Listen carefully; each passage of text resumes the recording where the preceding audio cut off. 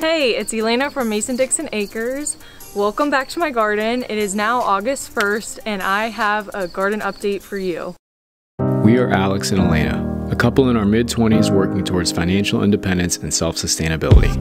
Follow our journey as we grow, build, fix, and learn the skills we need to get us there.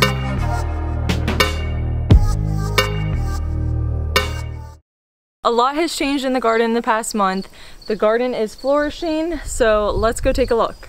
So first, we're gonna take a look at our pepper plants. So in the last video, I don't know if there were any peppers on the plants at all, but they were probably a lot smaller than this.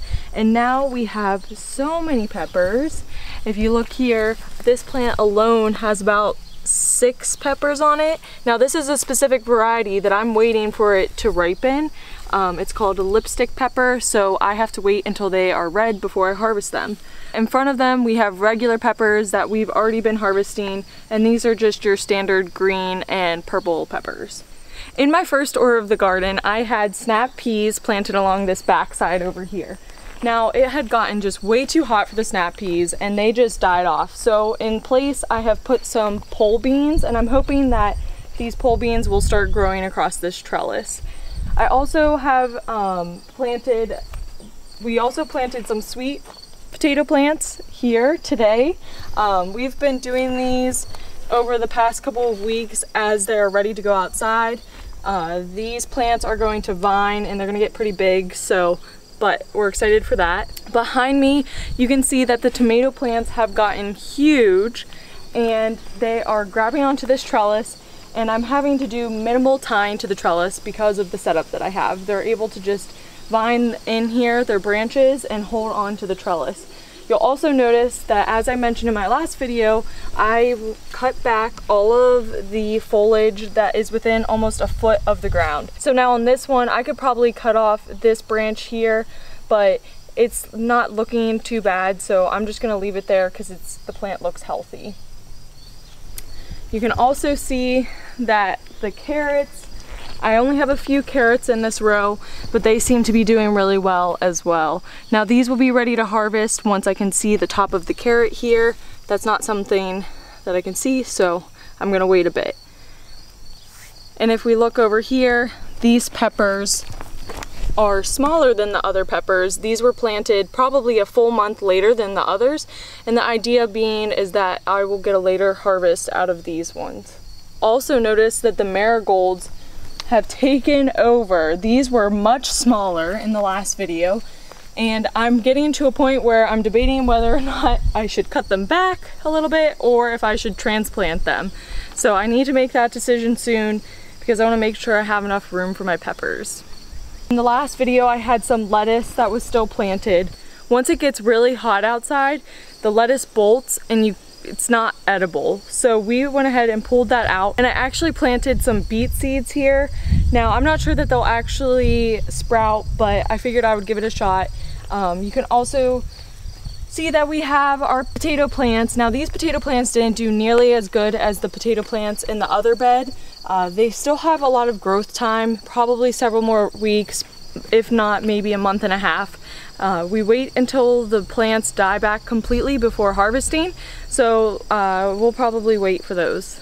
Here's an eggplant plant, and I have some pretty big eggplants here that I can harvest soon. Let's look at this kale plant. Now this kale plant, most of the kale is getting attacked by cabbage loopers. So here are some cabbage loopers that are eating away at the kale plant.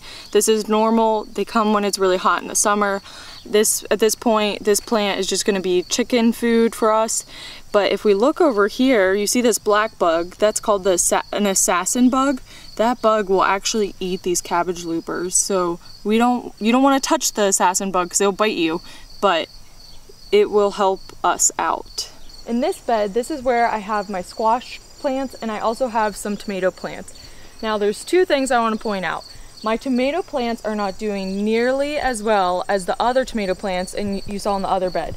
I noticed this last year when I planted with squash as well. So now I know for the future, do not plant your tomato plants with your squash because you're not going to get nearly as good of a yield as if you were to plant them elsewhere. So I'm dealing with a lot of pests with my squash.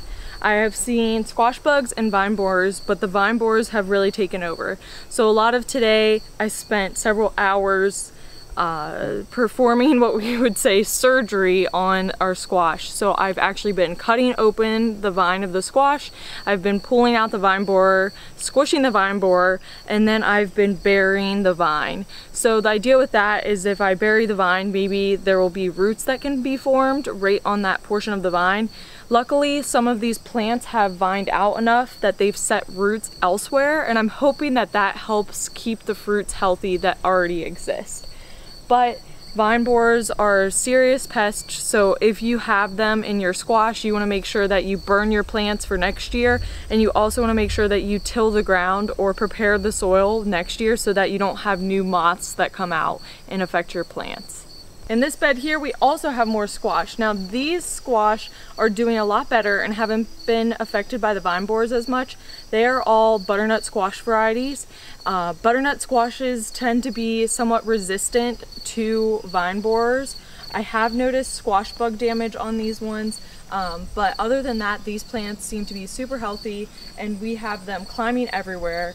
They've escaped the garden and they are climbing along the side, but that's totally okay. Um, the only thing is, is that it's a little hard to tend to them now that they've taken over. Another thing about squash plants is that if you're working with squash plants, you might notice that you have a reaction on your skin. This is because of the tiny little hairs on the squash plants. Um, so if you're reaching in around there, you might notice that you have a bunch of scratches on your arm afterwards and it's kind of like, looks like a rash. That's normal. Um, I would just advise that you would wear a long sleeve shirt or something like that uh, I know that I personally get that uh, reaction, so that's just something to keep in mind with squash. Here are my watermelon plants. In the original video, I had just planted these plants. Now, whenever I planted the plants outside, I didn't properly harden them off. If you watch one of my previous videos, I talk about the negative effects of not properly hardening your plants before taking them outside. In this case, it really, really slowed the growth of the plants, almost so much so that we didn't know if they were going to produce at all. You can see this is one of the watermelon plants and it looks like a weed at this point. I feel like I could just pull it out of the ground. Um, so these got a late start. I planted them late, so I'm not exactly sure if they'll produce this year, but I've heard that people will have watermelons growing up until October, so I'm gonna give them the benefit of the doubt and keep feeding them and keep watering them. In the last video, I had showed you my potato bed and it looked like it was flourishing and super, super healthy. Now everything looks dead.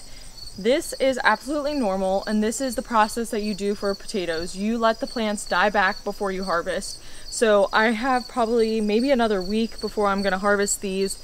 Um, some people will even wait until two weeks after everything dies back. So I'm just gonna gauge it, you know, maybe dig up a certain area of the potatoes um, and see if I'll be ready to harvest. But they'll be soon. Since my last tour, I added a couple of plants that I didn't have before.